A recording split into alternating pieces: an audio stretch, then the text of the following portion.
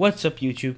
JM Comix here, and breaking news my fellow Nintendo fans. You've probably heard this already, but The Legend of Zelda Breath of the Wild 2, or the sequel to The Legend of Zelda Breath of the Wild, as Nintendo's calling it, has been delayed into spring 2023, but we all kind of know March 2023. And while the majority of the internet believes this is a terrible thing to happen, most people are sad, some people are outraged. Personally, I'm kind of happy about this.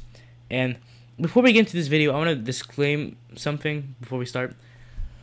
Um, do not let me sway your opinions, okay? I'm going to try to argue that it's a good thing this game's been delayed and I'm happy about it. But if you are sad about this game being delayed, or mad if you're very extreme, then be mad, be sad. That's your opinion, okay? Do what you want to do. Think for yourselves. But I'm just going to explain what I think and why I believe that way. So, yeah. Remember to like, subscribe, and comment down below your opinions on, I guess, Breath of the Wild 1 and what you think is happening with Breath of the Wild 2. And if you're happy or sad or mad about this delay, or you just don't care. And here are my top three reasons, the only three reasons, why I think it's a good thing that Breath of the Wild 2 was delayed into 2023. My first reason is probably the most valid one. Miyamoto once said, a delayed good game is better than a rushed bad game. And it makes a lot of sense when you think about it, and it definitely applies to this situation.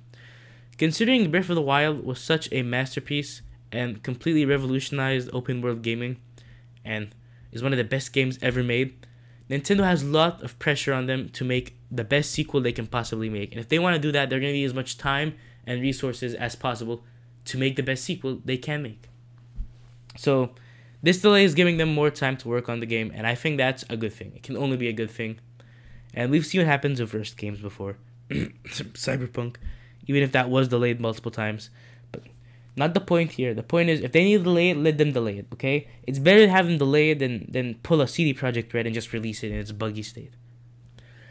And my second point here is probably less valid than the first point, but personally to me it's the most important point, and that is 2023 is a packed year. Look at what we've already gotten so far. We had Pokemon Legends Arceus, we had Elden Ring, we had Project Triangle Strategy. We had Horizon Forbidden West on the PlayStation, and we just got Kirby in the Forgotten Land, an amazing game I'm playing through, by the way, and I will review soon on the channel within the next two months. And even some smaller games like Tiny Tina's Wonderlands, which I haven't played as a Borderlands fan, but I, might get to eventually, like in five years or something. I don't know.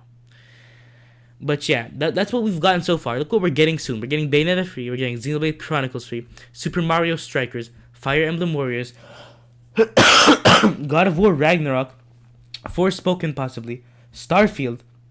Like guys, we are absolutely spoiled this year, and I don't think we need to rush Nintendo into releasing Breath of the Wild 2 to make this a complete year. It's already a complete year, and we won't have enough time to play the other games that are coming out. And personally, I don't want to spend my entire year playing games, so I'm completely fine with Nintendo moving Breath of the Wild 2 back. Additionally, I am in school, so for me, years are kind of like there's actual years and then there's school years. So Breath of the Wild is basically in the same school year for me right now, like 2022 to 2023. So I don't care that much, but that's just a me thing. And my third point is my least valid point, but I'll just bring it up anyway. Nintendo Switch is coming to an end soon. We all know that. Nintendo has said it's in the middle of its lifespan, but I don't trust them that much in terms of that. They're gonna like make a revision, a Switch Pro or a Switch 2, Super Switch or something soon. So yeah, Nintendo can't release all their big games in 2022. They gotta save some stuff for like 2023 and 2024 before the Switch officially comes to an end.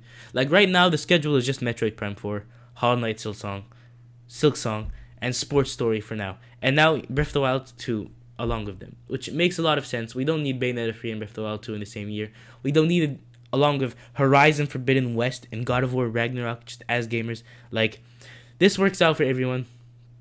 So yeah in my opinion, I'm kind of happy, and I think it's a good it's a good thing that Legend of Zelda Breath of the Wild 2, or the sequel to The Legend of Zelda Breath of the Wild, has been delayed into 2023. If you disagree with me, comment it down below, and JM Comix out.